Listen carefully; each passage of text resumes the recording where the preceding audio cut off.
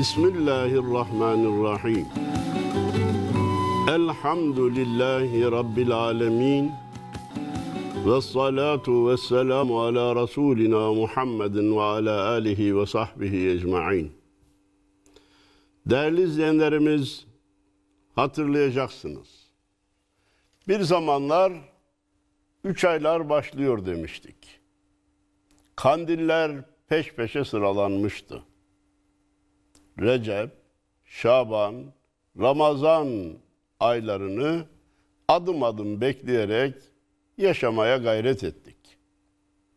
Sevindiğimiz zamanlar da, üzüldüğümüz zamanlar da oldu. Ama şimdi Kadir gecesine geldik. Kadir gecesiyle aramız tampon mesafesinde. Öyleyse bu Kadir gecesi nedir? Niçin Kadir gecesi denilmiş? Fazileti nedir? Nasıl değerlendirmemiz lazım? Bu gibi sorulara cevap teşkil edecek sohbetimize Cenab-ı Allah anlatmaya muvaffak eylesin, dinleyenlere de iyi anlamayı nasip eylesin duasıyla başlamak istiyorum. Değerli izleyenlerimiz, malumunuz Kur'an-ı Kerim'de bir kısım kavramlara işaret eden ayetler vardır. Bir kısım mübarek zamanlara işaret eden ayetler vardır. Bazı ayetler de o mübarek zamanların veya mekanların bizzat ismini zikreder. Beytullah'ın zikrolunması gibi, Meş'aril Haram'ın zikrolunması gibi Kur'an-ı Kerim'de. Kadir gecesine gelince Cenab-ı Allah ne sadece işaretle yetinmiş ne de sadece bir ayet göndermekle yetinmiş. Ya ne yapmış? Hepinize malum ki bu gecenin ismiyle müstakil bir sure göndermiş. Başlı başına Kadir gecesinden bahsetmek üzere adı da Kadir Sure-i Kadir olmak üzere bir sure göndermiş. Bu ne demek? Bu geceye çok önem verin demek. Bu gece sizin dünya ve ahiret hayatınız için çok önemli demek. Öyleyse bu sure-i celilede Cenab-ı Allah ne demiş? Kısaca sureyi arz etmek istiyorum. Estaizu billah. İnna enzelnahu fi leyletil kadr. Biz onu Kadir gecesi indirdik. Ondan maksat nedir? Kur'an-ı Kerim. Peki Cenab-ı Allah İnna enzelnel Kur'ane fi leyletil kadri diyemez miydi? Biz Kur'an'ı Kadir gecesi indirdik diye Kur'an'ın ismini açıkça zikredemez miydi? Elbette edebilirdi. Allahu Teala için bir zorluk söz konusu değil. Niçin öyle demedi de zamirle hu yani biz onu indirdik dedi? Müfessirlerimiz diyor ki burada edebi bir sanat var. Onu indirdik deyince insanlar soracak Allah neyi indirdi? Kur'an'ı indirdi. Bulacaklar bir insan bir şeyi araştırıp da bulursa onun kıymetini daha iyi anlar. Sorar da öğrenirse onun kıymetini daha iyi anlar. Burada böyle çok ince bir nükte, çok ince bir sanat var. İnna enzelnahu fi leyletil kadir. Biz onu Kadir gecesi indirdik. Daha önceki sohbetlerde de arz ettim ki Kadir gecesi indirdik demek bütün Kur'an-ı Kerim'i Nur Dağı'na Kadir gecesinde indirdik manasına gelmez. İnişin başlangıcı Kadir gecesinde oldu demektir. Bir başka ayet-i kerimeyi Ramazan boyunca işitmişsinizdir, okumuşsunuzdur, eski senelerden hatırlıyorsunuz. Şehru Ramazan ellezî unzile fihil Kur'an huden linnâsi ve beyinatin minel huda vel furgan. Ramazan ayı ki Kur'an'ı biz o ayda indirdik buyurmuştu Cenab-ı Allah. Peki burada da Kadir gecesinde diyor. Tamam çelişki yok. Kadir gecesi Ramazan ayının içinde değil mi? İnişin başlangıcı Kadir gecesinde oldu. Dolayısıyla Ramazan ayında oldu. İnişin tamamlanması 23 sene 4 ayda oldu. Bu teknik bilgiden sonra Cenab-ı Allah burada dikkat ederseniz biz diyor. Ben indirdim dememiş de biz indirdik demiş. Ne demek? Niçin biz dedi? Allahu Teala haşa tek değil mi? Haşa çoğul mu ki biz dedi? Hayır. Evvela şunu arz edeyim ki Kur'an-ı Kerim'de Cenab-ı Allah zaman zaman ben, ene, Arapçadaki ene kelimesini kullanmış. Bazen de nahnu, enzelna gibi çoğul sigasını kullanmış. Bu haşa onun birden fazla olduğu manasına gelmez. Otorite, yegane, başkasını kabul etmeme anlamında ve şanının yüceliğini gösterme anlamında bu zamir, bu çoğul zamir kullanılmıştır. Hani bazı insanlar duyarsınız. Kendilerine çok güvendikleri zaman o iş bizden sorulur derler. Halbuki tekildir. Benden sorulur demesi gerekir. O işin erbabı biziz derken ben o işin otoritesiyim demektir. Bu anlamda Cenab-ı Allah biz demiş. İnna enzelnahu fi leyletul kadr. Ve ma edrake ma leyletul kadr. Leyle-i Kadir nedir biliyor musun ya Muhammed?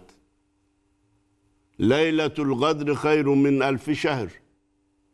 Kadir gecesi bin aydan hayırlı bir gecedir.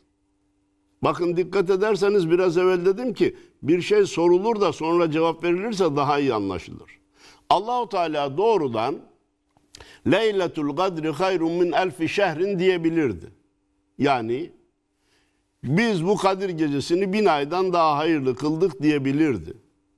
Peki niçin önce neden önce Kadir gecesi nedir diye soruyor sonra da bin aydan hayırlıdır diyor. İnsanların dikkatini çektikten sonra bin aydan hayırlıdır diyor. Leyletul Kadr hayrun min elf şehr. Ne olmuş peki Kadir gecesinde?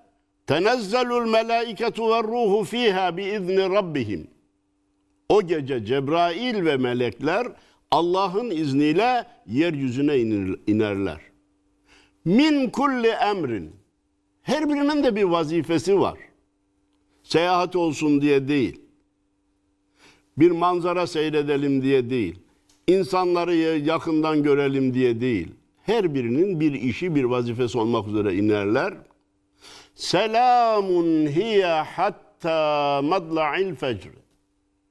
Kadir gecesi şafak atıncaya kadar, tan yeri ağarıncaya kadar selamettir, suhtur, rahmettir, berekettir.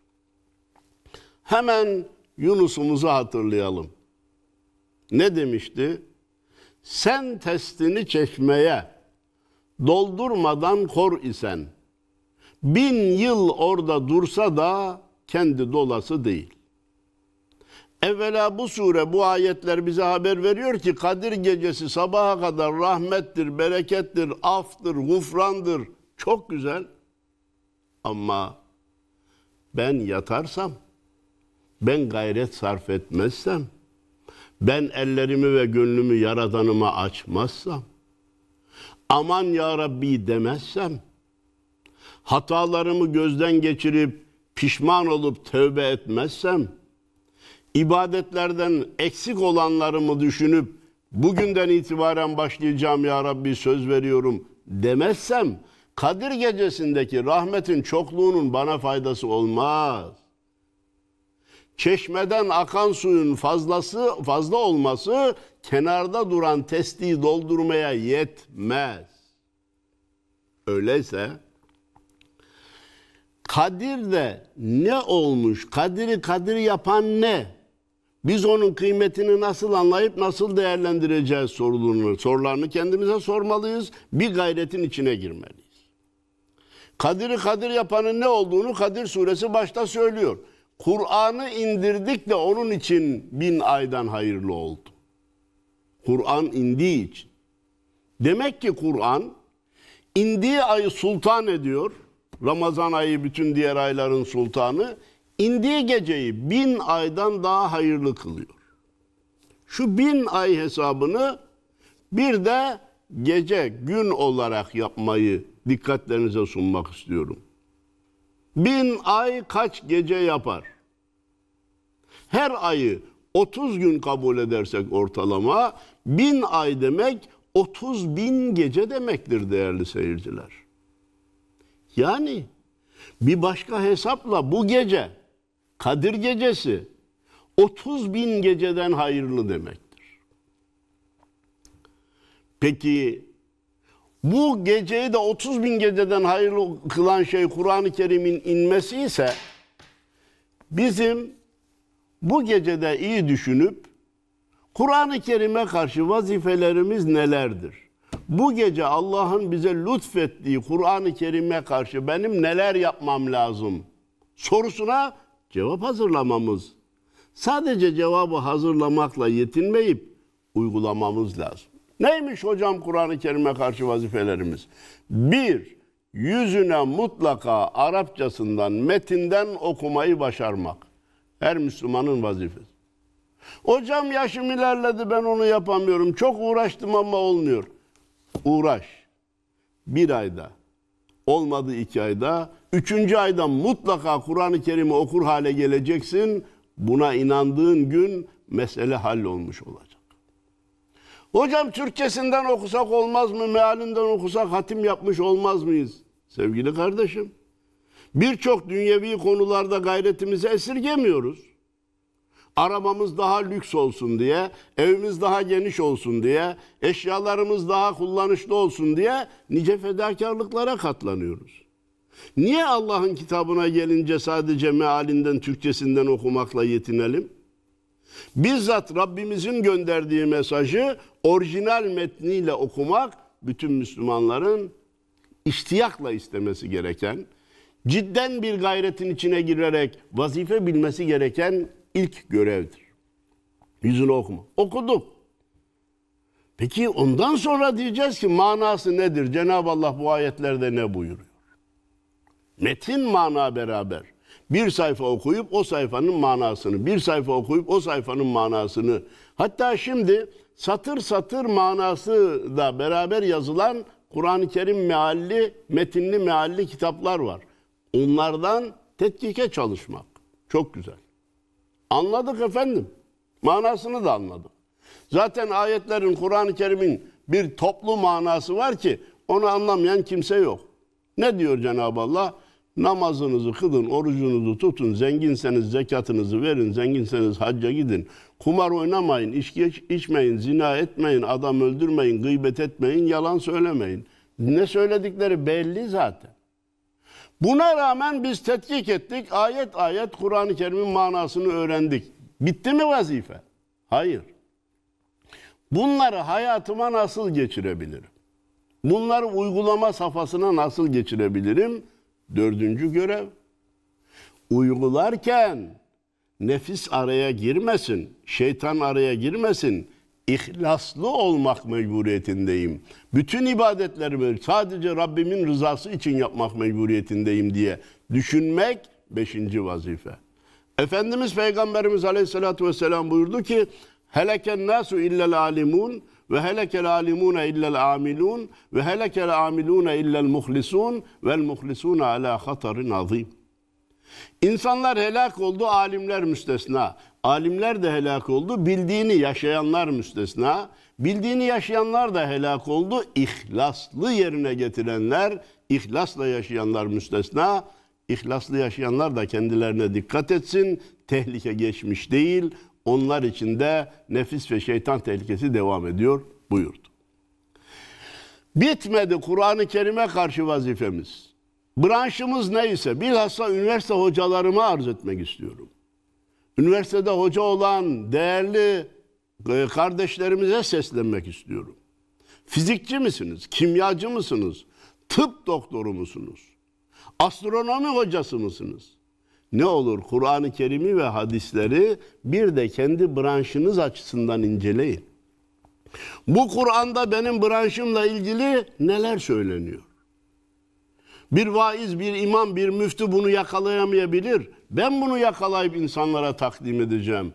Ben de aynı Allah'ın kuluyum. Bu Kur'an bana da gönderilmiş. Öyleyse benim de bu Kur'an'a hizmetim bugünkü fenni ilimlerle örtüşen, hatta onlara ufuk açan, onlara hedef gösteren, onlardan ileride neleri keşfedebileceğini gösteren işaretleri yakalayayım ve insanlara sunabileyim diye bu kitabın nasıl bir mucize olduğunu insanlara göstereyim diye gayret etmeleri gerekir.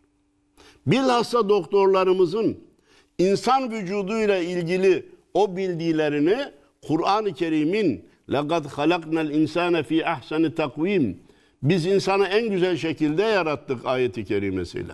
فَلْيَنْظُرِ الْاِنْسَانُ مِمَّا خُلِقٍ İnsanoğlu neden yaratıldığını bir incelesin bakalım. O zaman doktor diyecek ki Allahu Teala bak nelere işaret etmiş. Yaratılışın safhalarını gözden geçirecek. Başka ayeti kerimelerde biz size göz verdik, kulak verdik, kalp verdik. Ne de az şükrediyorsunuz. Kulak ne? Göz ne? Kalp nasıl çalışıyor? İşte bunları ehli olan hocalarımız tetkik edip bu ayetlerle birleştirerek insanlara sunduğu an Kur'an-ı Kerim'e karşı altıncı vazifemizi de yerine getirmiş olacağız. Efendim bir gecenin bin aydan başka ifadeyle 30 bin aydan hayırlı olmasını anlamakta güçlük çekebiliriz.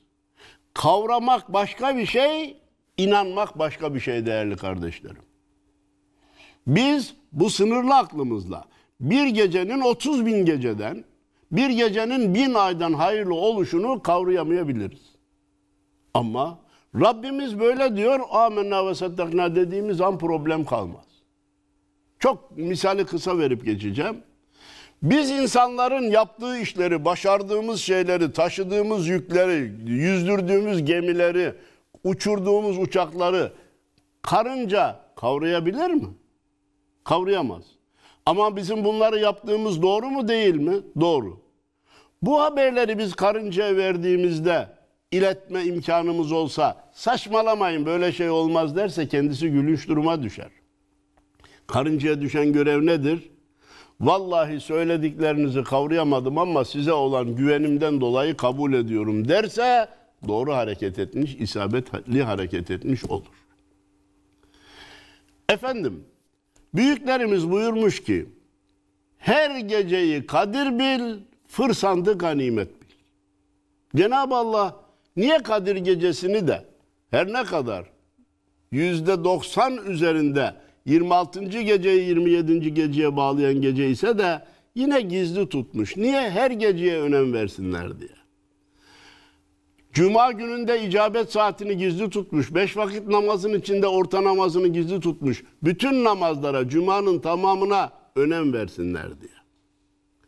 Öyleyse bizim daha karlı çıkabilmemiz için her geceyi kadir bil, her gördüğün Hızır bil, fırsandı ganimet bil sözüne iyi yapışmamız lazım.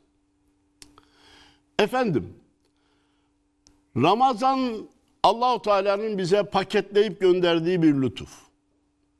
Oruç var, teravih var, Kadir gecesi var.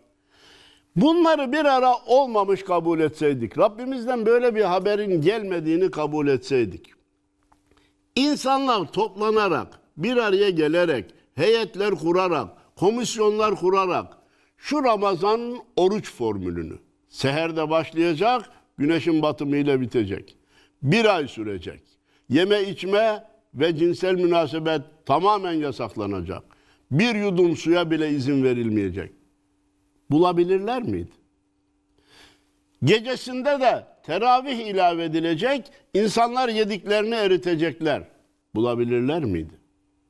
Gece sahura kalkılacak. Böylece zor günlerin idmanı yapılmış olacak. Askeri eğitim gibi geceli gündüzlü disiplinli bir hayata Müslümanlar alışacak. Bu formülü kim bulabilirdi? Oruçtaki hikmetleri saymakla bitiremiyor bilir kişiler, doktorlarımız. Allah sayılarını artırsın. Peki 6 ay olsaydı ne olurdu? 10 gün olsaydı nasıl olurdu? Bir hafta tutup bir hafta yiyerek, bir hafta tutarak bir hafta yiyerek Ramazan olsaydı neler olurdu? İnsanlar bunun içinden çıkmasına imkan ve ihtimal yoktu. Cenab-ı Allah lütfetmiş, süreyi bir ay olarak ilan etmiş, ne zaman başlayıp ne, zaman biteceğini ilan etmiş. Peygamberimiz de teravih sünnetiyle bize sıhhatimize katkıda bulunmuş. Her ikisi birleşerek Kadir gecesi gibi bir lütufta bulunarak Cenab-ı Allah tevbe etmemizi, kulluk yarışına iştirak etmemizi, maratona katılmamızı istemiş ve imkan sağlamış. Öyleyse biz bu hazırlanan formülün tabiri caizse paket programın ilahi lütfun bize gelen hediye kolisinin kıymetini iyi bilip onu iyi değerlendirmemiz lazım. Efendim, Ramazan bin aydan hayırlıdır. Dedik ki 30 bin gece. Öyleyse, düzeltiyorum Kadir gecesi. Bir Kadir gecesini bütün ibadetle geçirelim, bir daha bin ay ibadet yapmayalım. Hayır. Bu nefsin bir oyunu olur. İşin şakası bile doğru değildir. Öyleyse ne yapmak lazım? Bu geceyi iyi değerlendirmek için İbrahim Hakkı Hazretlerini dinleyelim. Diyor ki, Eydide nedir uyku gel uyan gecelerde, Kevkeplerin, yıldızların et seyrini seyran gecelerde. Bak heyeti alemde bu hikmetleri seyret. Bul saniini, yaratanı, ol ana hayran gecelerde. Şu geceleri iyi değerlendir. Gafletle uyumak ne reva abdi hakira. Şefkatle nida eyleye Rahman gecelerde. Cümle geceyi uyuma, kayyumu seversen, Allah'ı seversen cümle gece uyuma. Ta hay olasın ey can gecelerde. Aşıklar uyumaz gece, hem sen uyuma kim? Gönlünün gözüne, görüne ey can gecelerde.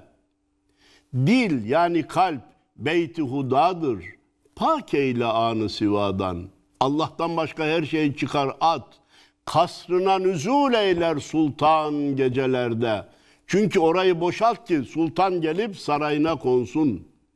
Allah için ol halka mukarin gece gündüz. insanlara hep yakın ol.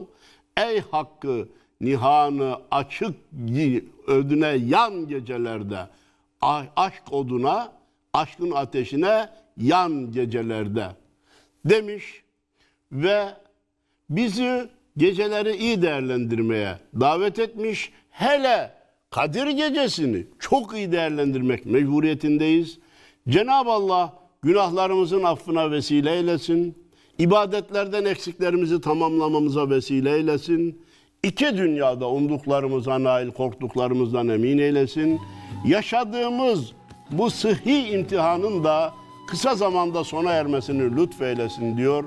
Hepinize saygılar, selamlar, hürmetlerimi arz ediyorum. Kadiriniz mübarek olsun.